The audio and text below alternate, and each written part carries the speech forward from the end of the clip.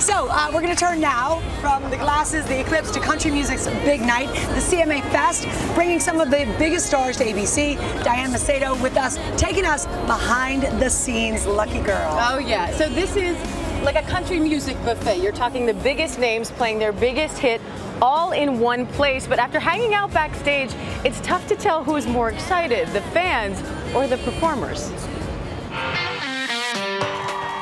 It's Music City Mayhem. This is like the creme de la creme of country fans. Country music fans from across the globe taking over Nashville for the annual CMA Music Festival, a four day non stop concert. There's nothing like walking out on that stage and feeling the electricity of the stadium full of country music fans from all over the world. It's CMA Fest. It's so known everywhere around the world now. The lineup, a country fan's dream come true.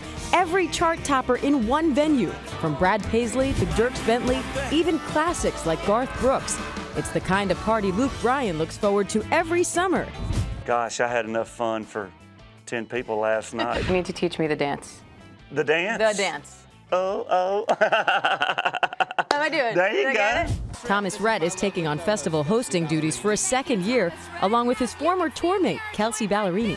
I feel like we have a different perspective of it because we came as fans. You've come Um, full circle. Yeah, totally. yeah. We both went up to where we sat before as fans and just kind of had a, a moment of like, oh my gosh, I can't believe we get to do this. Are you sick of each other yet? no. I'm It's sick. like a I'm sick of her, but Yeah. Yeah. Well.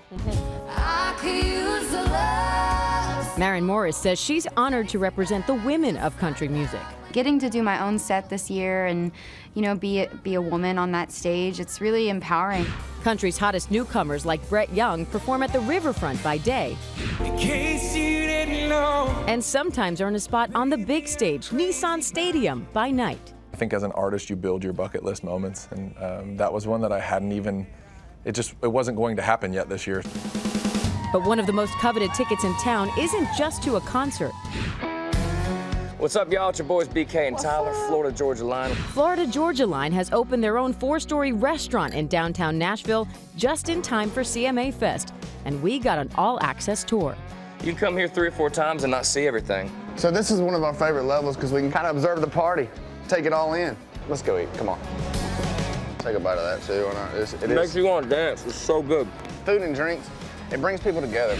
It's a weekend of nonstop fun all over the city, even backstage. Maybe just a big like fist bump. All right, stop, collaborate, and oh, listen. Oh, oh. Ice is back with a brand new invention. There'll be time enough for counting when the dealing's done. You got to talk to Kenny Rogers. And I got to sing with Kenny Rogers. I think I actually forgot I was working in Nashville, but it was such a great show. And the good part is, it airs tonight, 8 Yeah. p.m. Eastern, here on ABC, so now everyone gets to enjoy it. and we all will. Thank you. That was so fun. Well, hey there, GMA fans. Robin Roberts here. Thanks for checking out our YouTube channel. Lots of great stuff here. So go on, click the subscribe button right over right over here to get more of awesome videos and content from GMA every day, anytime. We thank you for watching, and we'll see you in the morning on GMA.